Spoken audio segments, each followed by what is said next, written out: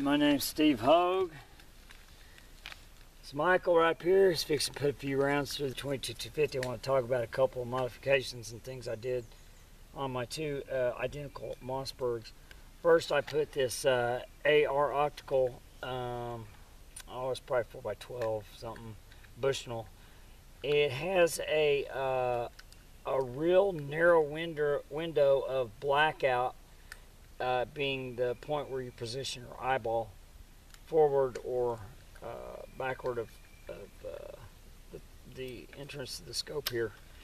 And I was kind of disappointed in that.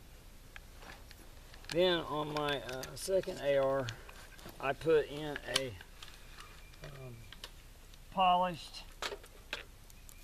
uh, supposedly blueprinted uh, trigger assembly and I was kind of shocked when I got home that it was identical to the uh, one, the factory Mossberg trigger.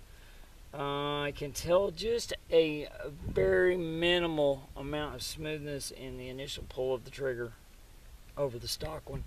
So there was a difference, uh, probably worth $50. Anyway, that's what we got going on.